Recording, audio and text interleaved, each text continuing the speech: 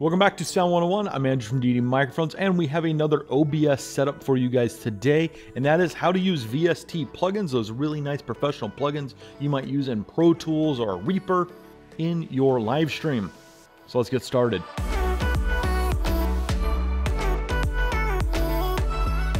Well, as it turns out, OBS does have all the cool plugins. You just have to add them and then do an extra step.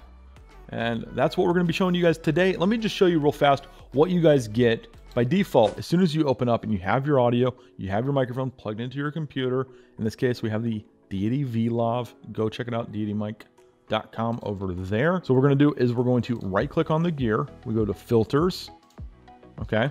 Now we already have one added. It's called the limiter. You know, I really love this filter. It's built in, it's sliders, it's numeric based. It's perfect. If I hit the plus button, you'll notice we really don't have a whole lot going on here. One of the biggest, lamest things about this is a basic EQ is missing for OBS. Like, we need EQ.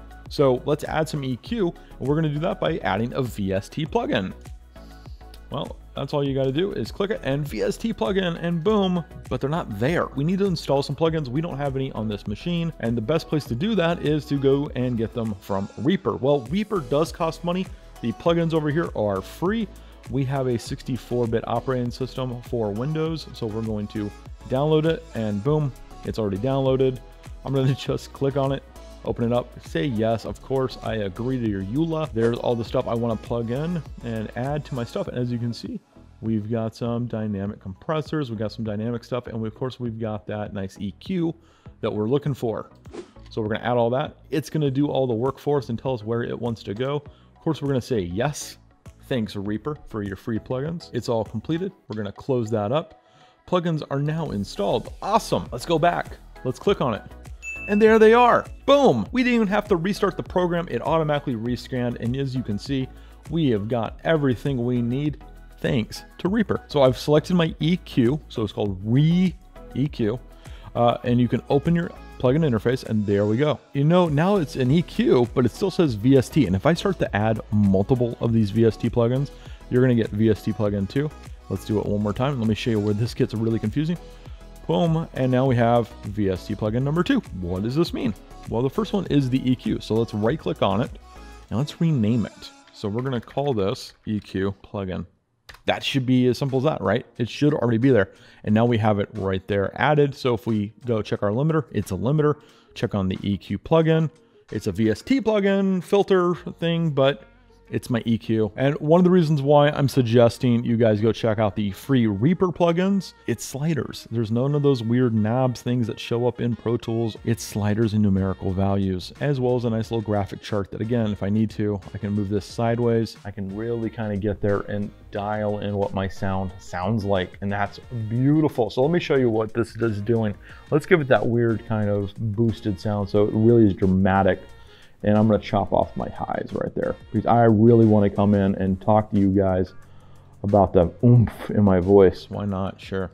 And as you can see, we can really kind of do a little bit. We can also add a little bit of extra gain because of course it's an EQ plugin and that probably sounds very, very different than how it sounded before.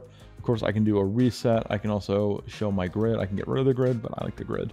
You can also add extra bands. I mean, look at this. This is so nice. I got more bands in here. I can move these things around. I can add, make number six to the left or right of number five. Whatever you really want it to do, you've got the option to do that in this plugin. And now with this, you have an extra kind of set of tools for your OBS setup that really were missing. And now it's kind of more complete. So I'm going to get rid of this one because we're not actually using it. Get rid of that but I want to make it, oh, oh gosh, look at that. It's going all crazy. So let's put the limiter at the bottom. So now as I talk, you can see, boom, we are hitting that limiter and it is perfect once again. And there you go. It comes down into there and then it comes to here. You can also bring this down if you absolutely need to also. I like to leave it at full because the limiter that I add at the bottom of my list fixes everything that I added above that list. If you like this kind of content, go hit the subscribe button on this channel, hit that bell for notifications so you can find out when we post brand new videos every single week.